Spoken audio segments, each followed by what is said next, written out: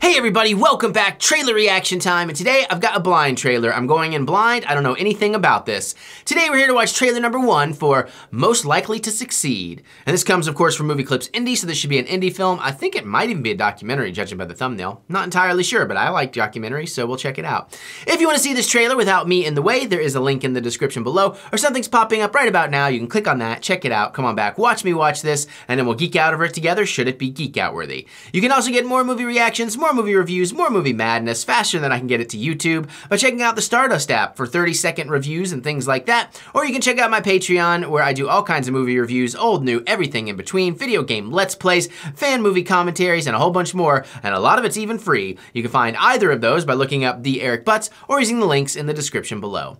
That said, this is a blind trailer. I know nothing about it and have nothing to say about it until I know something, so I'm gonna shut up and let's watch.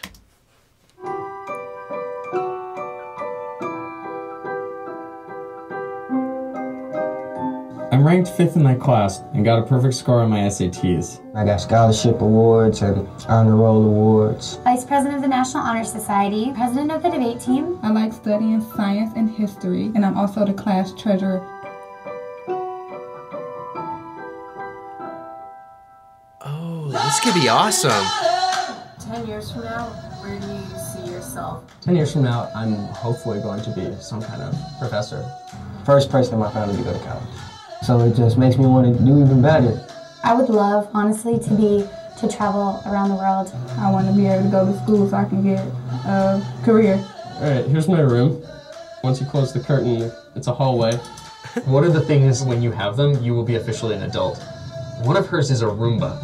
I have credit cards now. I have my own insurance. I don't have a Roomba. Growing up in Detroit was actually kind of rough. This is from Kylie. I got it on our one year anniversary. We basically attached at the hip. Some days I'm overwhelmed. Title Source Signing Agent Services, this is Charles. But then there's those days and I'm just like, I love what I do. My parents are pastors. I grew up going to church every Sunday. Jesus' name, I don't want to be a Christian because my parents are pastors. I want to be a Christian because I know why I believe what I believe. I think my mama and my daddy grew up together. But I don't know. I don't be asking. I'm finally in a relationship where I say I'm like completely happy. This is what love's supposed to feel like. I just feel like kind of, I guess, kind of stupid too. I'm like, I gave up everything. I'm really not sure how my future is going to work out. I now pronounce you married.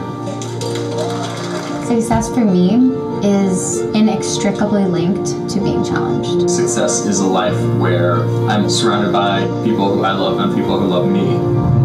10 years has not been easy at all getting here.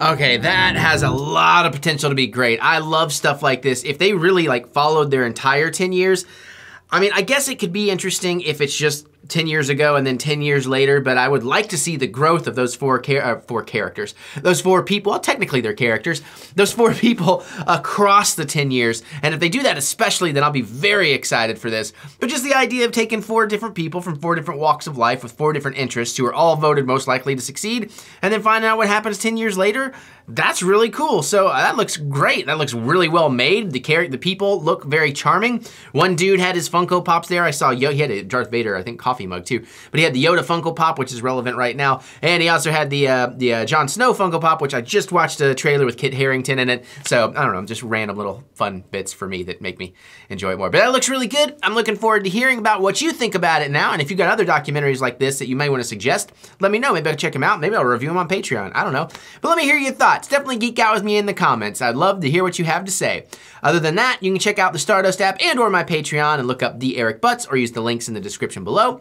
And you can click that thumbs up button, give me the good old thumb of encouragement, as I do love to be encouraged. But now I'm gonna get out of here so I can go watch some more stuff, and I'll see you all later.